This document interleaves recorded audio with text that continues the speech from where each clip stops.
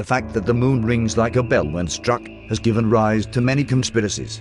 The most popular being that the moon is an alien Death Star or an hollow satellite. However, the answer and even rocks made of the same structure may have been found here on Earth in the US.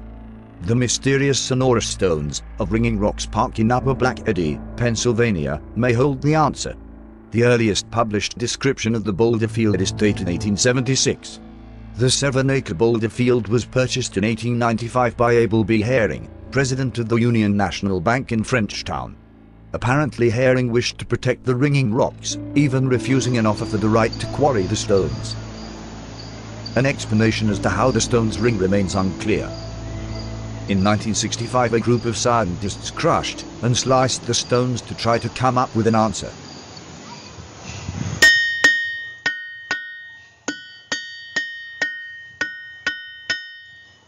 After performing numerous experiments, they found all of the stones from within the field do in fact ring, often in tones lower than human perception. But tonal interaction between these low frequencies can create an audible sound, as if they sing together.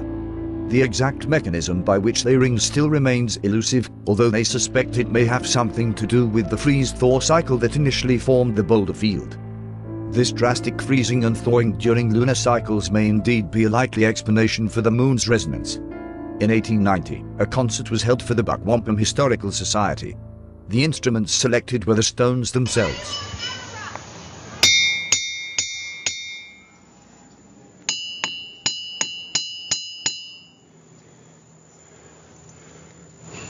You might say it was the first ever rock concert.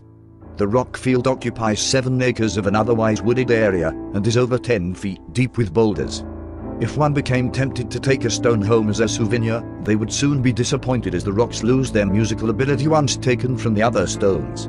Other isolated areas within Pennsylvania possess these strange stones such as Stony Garden in Bucks County, Ringing Rocks Park near Pottstown, Montgomery County and the Devil's Race Course in Franklin County. But no other places are known to have them. The true cause of the ringing stones is still unknown, and a hot topic of debate among geologists. The fact that they lose this ability when separated just adds to their mystery. What do you think gave them their ability to sing? We just All received flight shepherding s- spacecraft impact. Stations report LOS. the uh, ground stations at Goldstone just reported a Last track hit termination of telemetry. 1135 35.054 seconds. The shepherding spacecraft has hit the surface of the moon, and this marks the end of the LCROSS.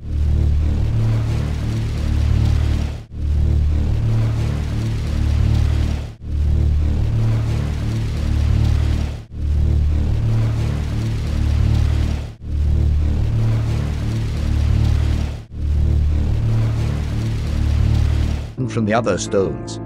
Other isolated areas within Pennsylvania possess these strange stones such as Stony Garden in Bucks County, Ringing Rocks Park near Pottstown, Montgomery County and the Devil's Race Course in Franklin County. But no other places are known to have them. The true cause of the ringing stones is still unknown, and a hot topic of debate among geologists. The fact that they lose this ability when separated just adds to their mystery. What do you think gave them their ability to sing? We just received flight shepherding The fact that the moon rings like a bell when struck has given rise to many conspiracies. The most popular being that the moon is an alien Death Star or an hollow satellite. However, the answer and even rocks made of the same structure may have been found here on Earth in the US. The mysterious Sonorous Stones of Ringing Rocks Park in Upper Black Eddy, Pennsylvania, may hold the answer. The earliest published description of the boulder field is dated 1876. The seven-acre boulder field was purchased in 1895 by its. They found all of the stones from within the field do in fact ring, often in tones lower than human perception. But tonal interaction between these low frequencies can create an audible sound, as if they sing together. The exact mechanism by which they ring still remains elusive, although they suspect it may have something to do with the freeze-thaw cycle that initially formed the boulder field. This drastic freezing and thawing during lunar cycles may indeed be a likely explanation for the moon's resonance. In 1890, a concert was held for the Buckwampun Historical Society. The instruments selected were the stones themselves.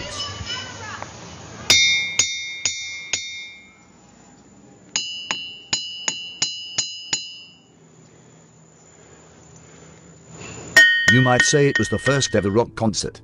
The rock field occupies 7 acres of an otherwise wooded area and is over 10 feet deep with boulders. If one became tempted to take a stone home as a souvenir, they would soon be disappointed as the rocks lose their musical ability once take Abel B. Herring, president of the Union National Bank in Frenchtown. Apparently Herring wished to protect the ringing rocks, even refusing an offer for the right to quarry the stones. An explanation as to how the stones ring remains unclear. In 1965 a group of scientists crushed and sliced the stones to try to come up with an answer.